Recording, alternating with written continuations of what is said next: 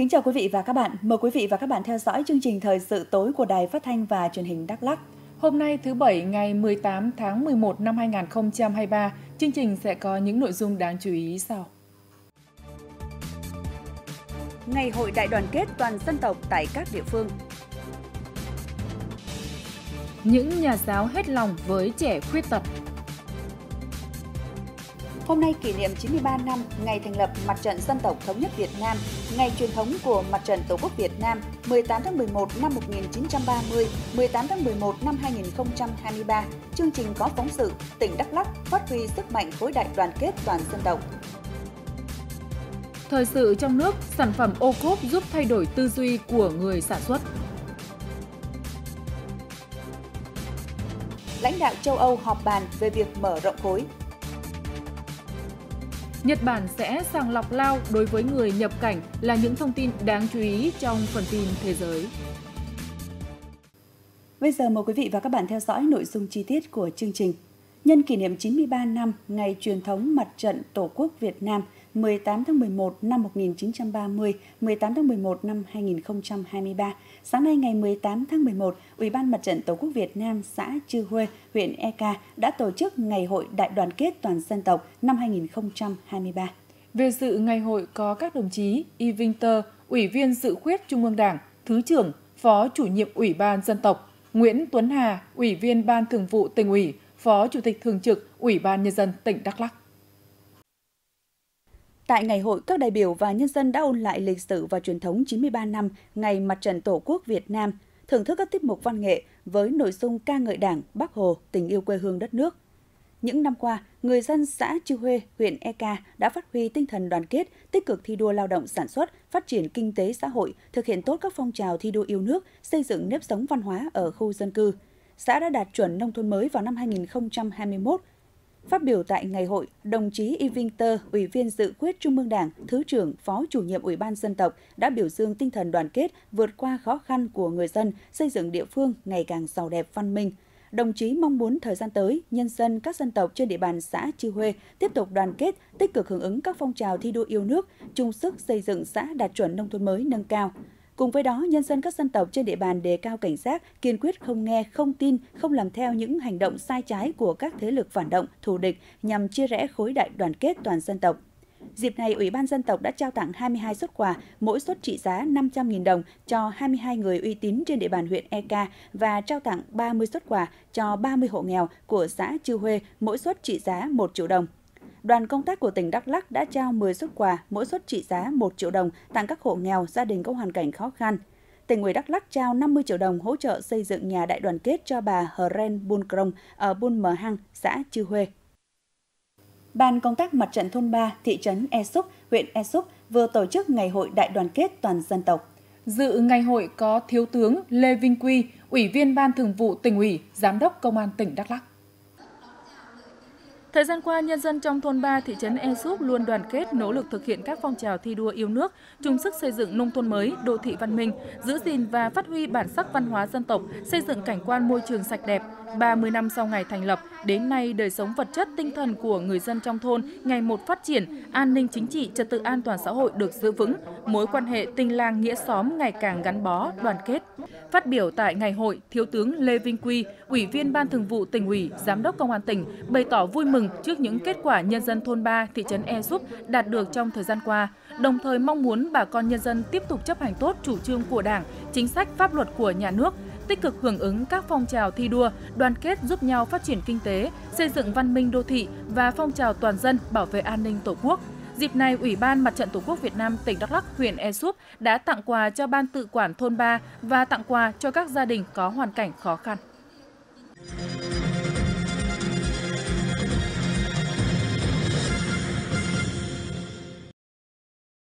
Chiều qua, ngày 17 tháng 11 tại huyện ủy Lắk, Thường trực tỉnh ủy Đắk Lắk đã tổ chức hội nghị công bố quyết định của Ban Thường vụ tỉnh ủy về công tác cán bộ. Tham dự hội nghị có các đồng chí Phạm Minh Tấn, Phó Bí thư Thường trực tỉnh ủy, Nguyễn Thượng Hải, Ủy viên Ban Thường vụ tỉnh ủy, trưởng ban tổ chức tỉnh ủy Đắk Lắk.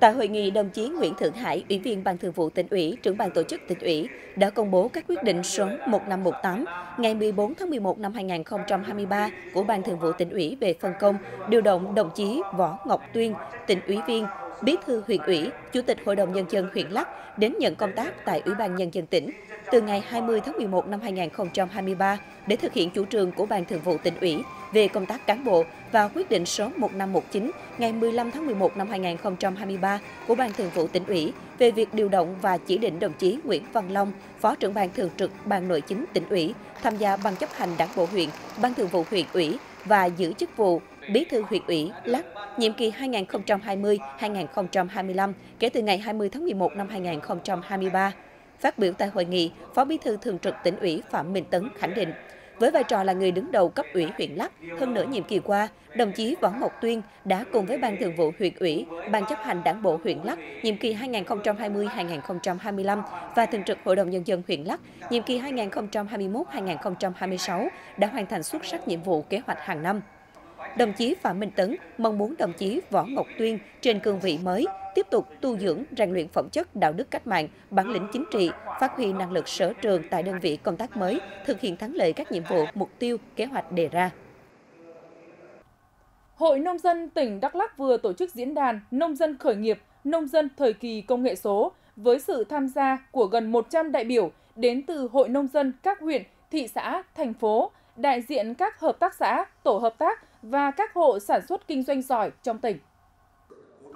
Diễn đàn nông dân khởi nghiệp, nông dân thời kỳ công nghệ số nhằm nâng cao kiến thức, nhận thức, ương mầm về khởi nghiệp, sáng tạo và chuyển đổi số trong sản xuất kinh doanh cho hội viên nông dân. Qua đó giúp hội viên có hoài bão khát vọng vươn lên để hoàn thiện những ý tưởng, đề án sản xuất kinh doanh mới và tìm kiếm cơ hội đầu tư vươn lên làm giàu, có phần phát triển kinh tế xã hội của địa phương. Tại diễn đàn, các đại biểu đã được nghe đại diện các cơ quan đơn vị thông tin về cơ chế chính sách phát triển công nghệ số và những thách thức khi triển khai thực hiện, ứng dụng chuyển đổi số trong nông nghiệp, kinh nghiệm trong khởi nghiệp, khởi sự kinh doanh trong thời kỳ công nghệ số, ứng dụng chuyển đổi số trong quản lý truy xuất nguồn gốc sản phẩm và quản lý vận hành hợp tác xã, doanh nghiệp.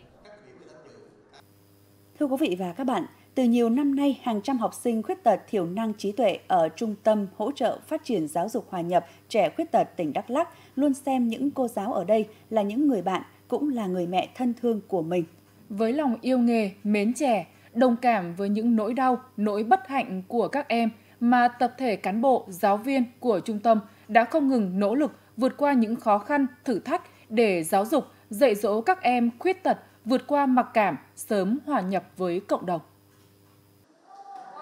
Giờ học ở lớp khuyết tật trí tuệ từ kỷ của cô giáo Phan Thị Lân thật đặc biệt. Lớp học rộn ràng với tiếng trẻ ú ớ, đọc phát âm, tập đếm, tiếng trêu đùa lẫn nhau không rõ nghĩa. Mỗi em học sinh mỗi mức độ nhận thức, mỗi em như có một thế giới riêng, nhưng cô đều ân cần kiên trì, chỉ dẫn theo các cách khác nhau. Lúc đầu thì cũng rất là gặp nhiều khó khăn. Thứ nhất là mình không có hiểu cái tính cách của trẻ. Thứ hai nữa là mấy cái cháu này thì bị rồi mình cũng không có chưa nói chung là chưa hiểu được nhiều á. Nhưng mà dần dần qua tình yêu thương của mình thế là chị dạy dỗ chị chăm sóc thế là dần dần chị thấy mến. Thấy à, tôi tôi thấy mến thấy thương là tôi à, cố gắng à, để giống như là hoàn thiện hơn và cố gắng đưa những kiến thức cơ bản những kỹ năng dạy dỗ đến với các con. Tại lớp học hướng nghiệp của cô giáo Nguyễn Thị Tuyết Mai có rất nhiều sản phẩm thủ công xinh xắn tỉ mỉ là công sức trong nhiều tháng của cô và trò. Gắn bó với các em học sinh đặc biệt được 17 năm, cô Mai đã trở thành người mẹ thứ hai giúp các em hòa nhập với cộng đồng. Tận mắt chứng kiến hình ảnh ân cần và kiên trì dạy cho các em từng mũi chỉ mới thấy hết tình cảm của cô dành cho học sinh khuyết tật cái trái tim nó thôi thúc thành ra là mình cũng vượt qua hết mọi cái khó khăn đó. À, ngày đầu tiên về nhận lớp thì chưa biết giao tiếp với các con. Sau đó là cứ buổi sáng lên lớp học ừ, các con xong rồi dạy thì cố gắng nói bằng mọi cái cử chỉ ngôn ngữ điệu bộ chữ viết giải thích cho các con hiểu. Xong buổi chiều lên đây lại học lại các con về cái ngôn ngữ ký hiệu. Thế là sau đó thì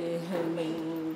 cảm thấy là đây mới là môi trường mà mình muốn hướng đến. Trung tâm hỗ trợ phát triển giáo dục hòa nhập trẻ khuyết tật tỉnh Đắk Lắk là ngôi nhà thứ hai của rất nhiều học sinh đặc biệt. là nơi chấp cánh ước mơ cho những người khiếm khuyết về thể chất tinh thần để hòa nhập cộng đồng. Hiện nay trung tâm có 62 cán bộ giáo viên với 180 học sinh chia làm 3 nhóm, gồm nhóm thiếu năng trí tuệ, nhóm can thiệp sớm và nhóm khiếm thính. Mỗi giáo viên ngoài chuyên môn còn đóng vai trò là người thân trong gia đình để yêu thương chăm sóc và giáo dục nhân cách cho các em. Đối với à, các bé học tại trung tâm thì hầu hết các cháu là khuyết tật nặng và rất nặng là học tại trung tâm. À, do vậy thì đối với các thầy cô giáo để à, chăm sóc và dạy dỗ các em học sinh khuyết tật để sớm các em được ra học hòa nhập với cộng đồng thì các thầy cô giáo phải thật sự là những tấm gương tận tụy, tận tâm và hết lòng vì học sinh và chịu thương chịu khó từng những cái hoạt động nhỏ để hỗ trợ cho các cháu tiến bộ mỗi ngày để giúp cho các cháu sớm được ra học hòa nhập. Đối với những cô giáo mẹ hiền của những trẻ không lành lặn, niềm vui trong ngày nhà giáo là được chứng kiến các em tiến bộ, tự làm được những việc đơn giản nhất từng ngày. Đó không chỉ là tình yêu với nghề, mà còn là tình cảm của cha mẹ đối với con cái, là tình người, là trách nhiệm đối với cộng đồng xã hội.